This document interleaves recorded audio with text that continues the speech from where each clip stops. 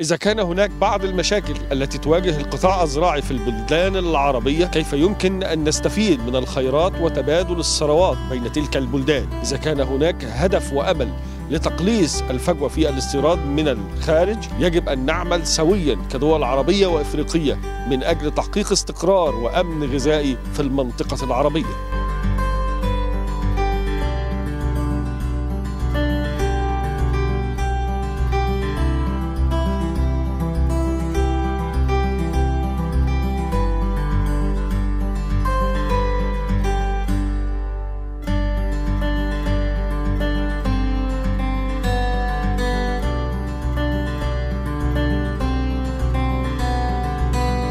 يوسف. يوسف يوسف. هذه منطقة شيشاوة دابا حنا دابا هنا خمس سنين دابا تقريبا. أول مرة شفنا هاد الشجر. شفنا شي شجر كبير. ما كيتزاد ما والو. ديما كنسقو هو ما كيتزادش. دازت واحد المدة تقريبا أربع سنوات. اتصلنا بواحد الماكينة ديال طواطر تولينا جبنا شي أشجار دابا. صغيرة ولات دابا غادي مزيانة. يعني كانت ملوحة بزاف. يعني مكتزاد الأشجار ما والو. فزدنا هادي ولات دابا غادي مزيان. الناس هنا دابا كاع كيجيو كيسولوني كيقول لي بينا بين كنعيط لهاد السيد مسؤول ديال الطوات بسم الله هاد الأرض دابا كنا بنا نهجروها دابا كنا باغي نبيعها ما كتستافد فيها حتى حاجة. ومن بعد واحد السنة زرعنا هادي جات ديك ديال الطواتر يعني هادي هي الشجر دابا هو المحصول دابا. كانت شجرة كبيرة زبرنا دابا نيه غادية مزيان.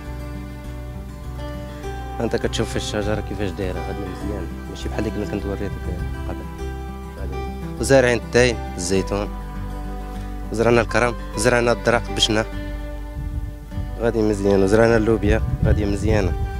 دابا كنا كنا كنفكروا كنا غادي نبيعوا الأرض. شحال سنة؟ كنا بنبيعوا كنا نهضروا علقنا فيها كاع شحال بلاكة وبال الناس كيجيو كاين الملح. باش اتصلنا بها ديال التواتر؟ يعني نتائج مزيان.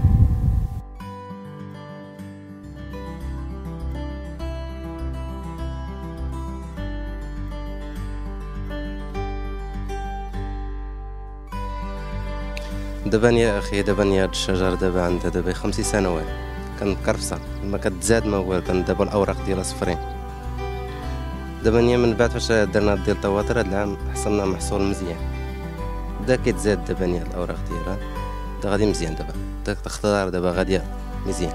دابا كان الملح بزاف هنا كان بحال هكا بحال هاد الشكل دابا فاش بدينا كنسقو دابا بدات الملح كتهرب. مبقاش دابا. غادي داكشي مزيان. الزراعه بدينا كنزرعو دابا غادي مزيان داكشي. المحصول غادي مزيان. الملح بدات كطهر.